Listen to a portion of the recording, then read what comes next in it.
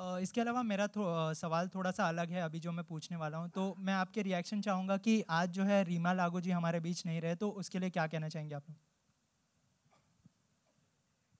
Chunky sir आपसे शुरुआत कर रहे हैं।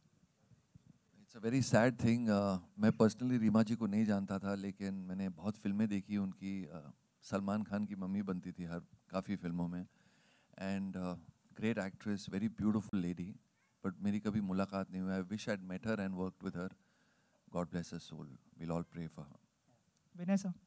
It's a very sad thing मैं पर्सनली रीमा जी को नहीं जानता था लेकिन मैंने बहुत फ़िल्में देखी उनकी uh, सलमान खान की मम्मी बनती थी हर काफ़ी फ़िल्मों में। And great actress very beautiful lady but मेरी कभी मुलाकात नहीं हुई। I wish I met her and work with her God bless her soul will all pray for her Vinay sir.